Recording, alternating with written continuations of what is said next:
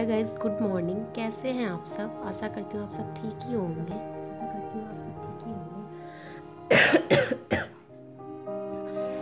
Guys मैं आज अपने यूट्यूब के लिए पहला वीडियो शूट कर रही हूँ।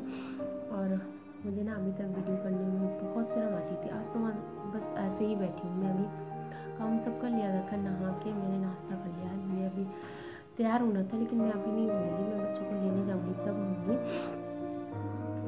किया कि मैं चलो एक वीडियो आज शूट करती हूँ, पहला वीडियो शूट करती हूँ। और मैं ना हिम्मत करके आज इसको डालूँगी, पक्का डालूँगी इसको यूट्यूब पे। और देखती हूँ कि आप लोग मुझे कितना सपोर्ट करते हो। यही मेरी रियलिटी है, यही मेरा सच है।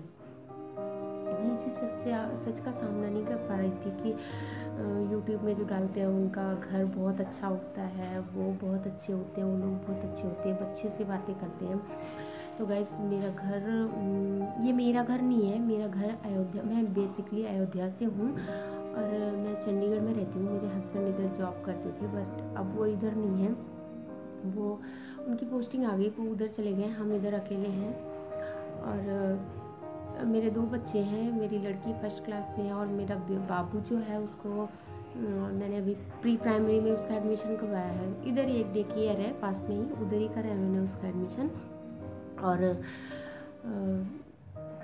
मैं बच्चों के लिए इधर रह रही हूँ चंडीगढ़ में। देखती हूँ कब तक रहूँगी। अभी ये साल तो पूरा रहूँगी मैं चंडीगढ़ में इधर। आगे देखती हूँ क्या होता है। और, बस बस यही सब है। मैं इधर ही रह रही हूँ तो मैं ना रेंट पे हाँ मैं रेंट पे रह रही हूँ इधर तो मेरा बहुत अच्छा तो नहीं है ये रूम नॉर्मली है, लेकिन ये है कि यहाँ सुकून है मुझे। क्योंकि मेरे जो ऑर्नर हैं वो जॉब करते हैं हस्बैंड वाइफ दोनों लोग। एक ही लड़का है, उनका लड़का स्कूल जाता है, उसके बाद आके वो भी डे केयर में रहता है। छः साढ़े छः बजे के आसपास वो लोग आते हैं।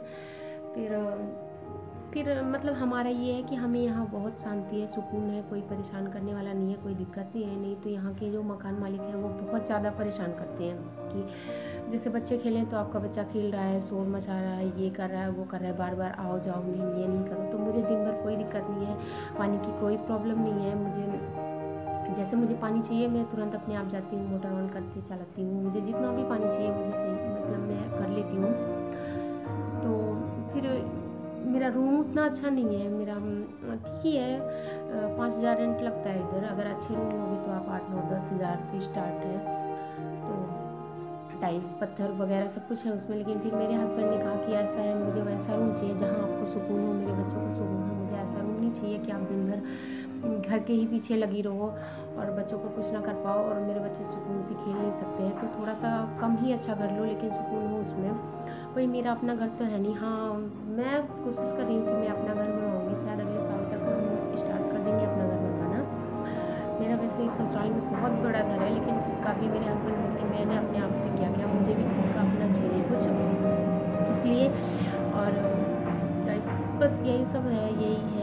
प्रॉब्लम इसलिए मुझे शर्म से आती है कि पता नहीं सबका अच्छा अच्छा सा घर होता है, मेरा ऐसे ही है, मैं करूँ, ना करूँ, पता नहीं कोई मुझे सब्सक्राइब करेगा लाइक करेगा कि नहीं। लेकिन गाइस यही मेरी रियलिटी है कि अब जो भी मैं ब्लॉग बनाऊँगी वीडियो बनाऊँगी, इसी घर से मैं बनाऊँगी और जो भी है आप लोग देखना। और कोशिश करना पॉजिटिव कमेंट ही करना निगेटिव मत करना, क्योंकि हर किसी की सिचुएशन समझनी पड़ती है, समझ मैं भी इधर बच्चों को लेके अकेले रह रही हूँ तो मेरे पास टाइम हो जाता है। फिर मैं, मेरे हस्बैंड चाहते हैं कि मैं जॉब करूँ, लेकिन अगर मैं बाहर कहीं भी जाती हूँ तो मुझे नाइन टू फाइव या टेन टू सिक्स ऐसे जॉब करनी होगी तो फिर मैं बच्चों को कैसे लाऊँगी? मेरी लड़की की छुट्टी एक बजे हो जाती है, मेरा बाबू भी साढ़े बारह पौने एक पे छूट ही जाता है उधर से। फिर मैं मतलब लड़की को लेके पास से ही बाबू को लेके फिर मैं घर चली जाती हूँ, फिर मैं जो भी काम होता है अपना कर लेती हूँ। फिर ऐसे होगा, मेरे बच्चे कहाँ रहेंगे, मैं क्या करूँगी, मैं जॉब करूँगी तो कैसे क्या होगा? इसी करके मैं जॉब नहीं कर रही हूँ और नहीं, अभी मुझे नहीं लग रहा है समझ में तो जॉब करना चाहिए। तो मैं सोच रही थी कि मैंने देखा यूट्यूब पे कि बहुत सारे यूट्यूबर हैं। मतलब बहुत तो प्रोफेशनल हैं, जिनको मैंने शुरू से देखना शुरू किया। भाई, वो तो बहुत हाई फाई हैं। फिर मैंने कुछ मिडिल क्लास के यूट्यूबर को भी देखा तो मुझे भी ऐसा लगा कि मुझे भी यूट्यूब पर वीडियो बनानी चाहिए। अगर आप लोग सपोर्ट करोगे तो सब कुछ हो सकता है, सब कुछ आप भी मुझे अपने साथ लेके चलिए। अगर आपको वीडियो अच्छी लगे तो आप लाइक कीजिए सब्सक्राइब कीजिए मुझे। और हाँ सबसे अच्छी बात एक ये है कि मुझे ना आपसे एक बात पूछनी चाहिए थी। जो भी इसके बारे में, जो भी नॉलेज हो आप लोगों को प्लीज़ हेल्प करना मेरी। मुझे उतनी ज़्यादा नॉलेज नहीं है। कल मुझे किसी ने बोला था कि आपका वीडियो एक साल आपका चैनल ओपन हुए एक साल होने वाला है और आपने चार, एक हज़ार सब्सक्राइबर और चार हज़ार वॉच टाइम वॉच टाइम चाहिए।